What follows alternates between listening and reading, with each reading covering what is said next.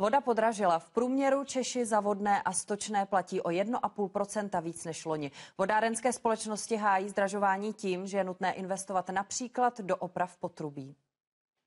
Denně sem na jídlo přijde zhruba 150 lidí, hlavně v době obědů. Nádobí a sklenice míjí jak ručně, tak v myčce a letos se jim to prodraží. Voda je furt čím dál tím dražší, že se to dostupnilo to, že platíme 12 tisíc už měsíčně.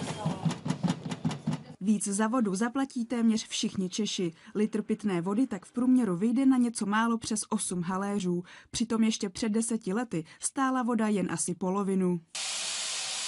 Těmi důvody je především nárůst eh, ceny surové vody, kterou my odebíráme od státní organizace a taky dlouhodobý plán eh, obnovy infrastruktury. Podle některých odborníků na vodárenství je za neustále rostoucími cenami vodného a stočného také to, že velký počet vodáren provozují alespoň z části zahraniční subjekty. Část vodáren bylo zprivatizováno a zahraniční subjekty si e, určitou část vodného a stočného posílají ve formě dividend na svoje účty do zahraničí. Některé obce teď chtějí, aby vodárny přešly zpět do jejich rukou nebo do vlastnictví státu. Mít možnost sledovat a ovlivňovat, kde peníze vybrané od lidí končí, to znamená bránit vodárny proti pokoutným privatizacím. Jedině tak budeme platit za vodu jen to, co skutečně musíme.